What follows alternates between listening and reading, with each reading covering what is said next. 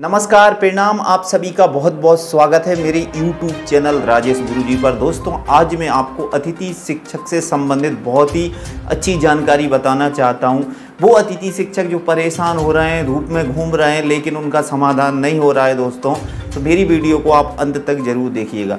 सबसे पहले उन भाइयों को बताना चाहता हूँ जिन्होंने के भी करवा दिया है, सत्यापन भी करवा दिया है और मार्कशीट को भी अपलोड करवा दिया है स्कैन करके। लेकिन सारी चीज़ें होने के बाद भी स्कोर कार्ड नहीं निकल रहा है। उस पर बता रहा है, आपके आधार कार्ड पर कोई भी आवेदक सत्यापित नहीं है दोस्तों। अब अतिथि शिक्षकों को चिंता हो रही है कि स्कोर कार्ड क्यों नहीं निकल रहा है। तो बिल्कुल दिक्कत की बात नहीं है, परेशानी की कोई बात नहीं है दोस्तों।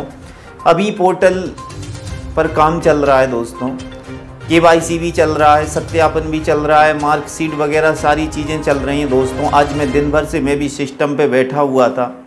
और उन अतिथि शिक्षकों को बताना चाहता हूँ, जिनका मोबाइल नंबर गुम गया है दोस्तों, या किसी वजह से बंद हो चुका है और उसी मोबाइल नंबर पर रजिस्ट्रेशन है तो सबसे पहले तो आपको बताना चाहता हूँ कि ओटीपी की ज़रूरत पड़ेगी आपको अनलॉक करवाने में।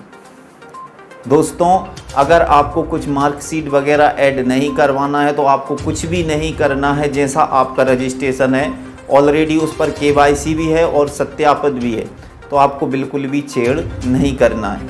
और अगर आपने एक बार उसको अनलॉक करवा दिया तो इसके बाद में फिर आपको सत्यापित करवाना पड़ेगा संकुल में जाके, उसको वेरीफाई बोलते हैं दोस्तों।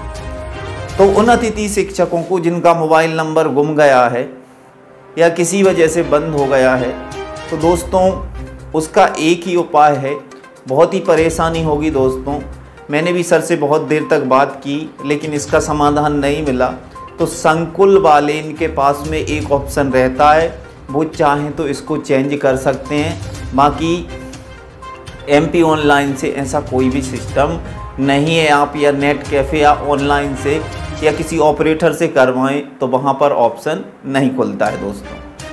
और बहुत ही दिक्कत, परेशानी होगी अगर आपके संकुल से अच्छे संबंध हैं तो वो बाबू कर सकते हैं। नंबर चेंज दोस्तों। इसके बाद में ओटीपी की एक बार ज़रूरत पड़ेगी दोस्तों अनलॉक करने में। इसके बाद में ओटीपी की सत्यापित अगर आप फॉर्म को कराते हैं तो आपको फिर ओटीपी की ज़रूरत नहीं है डायरेक्टली आपका वेरीफाई हो जाएगा। और ऐसे अतिथि शिक्षक जिनका नया स्कोर कार्ड अगर सत्यापित होने के बाद में अगर उन्होंने मार्कशीट अपलोड करवाई हो तो आप एक मुझे कमेंट्स कर सकते हैं दोस्तों। मुझे मुझे बता सकते हैं जिसका स्कोर कार्ड निकल रहा है। लेकिन आज जितने भी अतिथि शिक्षक हैं जिन्होंने सत्यापित करवाए, किसी का स्कोर कार्ड नहीं निकल रहा है। उस पर यही ऑप्शन आ रहा है। इस आधार कार्ड पर कोई भी आवेदक सत्यापित नहीं है। तो इतने जल्दी वेरीफाई नहीं होगा दोस्तों, उसमें टाइम लगेगा। और जैसे ही नए आधार कार्ड अपलोड होंगे, यानी 2022-23 के तो आपके निकलेंगे, आपने योग्यता बढ़वाई है दोस्तों। लेकिन एक आप ध्यान रखें, अगर आपके पास में कोई प्रिंट अगर पुराने आधार कार्ड का रखा है तो उसको भी आप संभाल कर रखें। दोस्तों, ऐसा ना हो कि अतिथि शिक्षकों को और आगे परेशानी हो जाए दोस्तों। क्योंकि दो साल तक G F M S portal बंद था, खुला है। अगर स्कोर कार्ड किसी कारणवश नए नहीं निकल पाए तो अतिथि शिक्षकों के लिए काफ़ी परेशानी हो सकती है। लेकिन ऐसा होगा नहीं। 99 परसेंट ऐसा नहीं होगा दोस्तों। नए स्कोर कार्ड सभी के जनरेट होंगे और हो सकते हैं 24 आवर्स के बाद में ही होने लगें। लेकिन अगर आप मुझसे बात करना चाहते हैं तो वीडियो पर थैंक्स मेनू में जाकर आप कमेंट्स कर सकते हैं दोस्तों। उस कमेंट्स के माध्यम से मैं आपको कॉल करूँगा दोस्तों। उसके लिए तीन ऑप्शन रहेंगे आपको। फ़र्स्ट सेकंड थर्ड एक कोई सा भी ऑप्शन सिलेक्ट सिलेक्ट करके यूपीआई आपको फोर्टी रुपीज़ उस पर पे करने हैं दोस्तों। और जो भी आपको दिक्कत, परेशानी होगी, उस समस्या का समाधान मैं करूँगा दोस्तों और आपको बताऊँगा, एक प्रेरणा दूँगा। इसमें लगातार मध्य प्रदेश से अतिथि शिक्षकों की जो भी नई नई इन्फॉर्मेशन आती है, मैं मेरे चैनल राजेश गुरु जी पर बता रहा हूँ। तो बहुत सी मात्रा में कमेंट्स आ रहे थे, सर बताइएगा, क्या स्कोर कार्ड नहीं निकलेगा? क्या इस वर्ष हम ऐसे ही रह जाएँगे? तो बिल्कुल भी परेशानी की और इस पर डेट भी बढ़ाई जाएगी दोस्तों, क्योंकि 11 तारीख तक सभी का सत्यापित होना नामुमकिन है, इतने जल्दी ये संभव संभव नहीं है। कि इतने जल्दी सरकार G F M S portal पर? आज पोर्टल इतने धीरे धीरे इतनी धीमी गति से चली दोस्तों, क्योंकि मैं खुद उस पर बैठा था।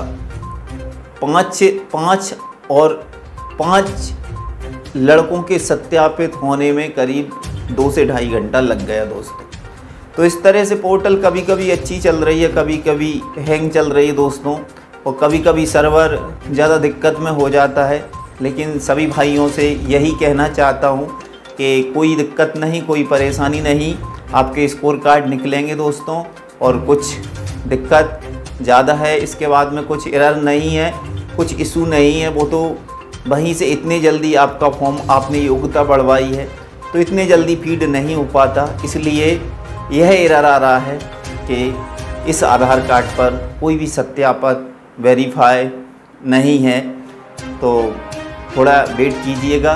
ज़रूर जैसे ही नए स्कोर कार्ड निकलेंगे, उस पर भी एक और वीडियो बनाऊँगा दोस्तों। तो आज की वीडियो में बस इतना ही। मिलते हैं को नेक्स्ट वीडियो में। जय हिंद।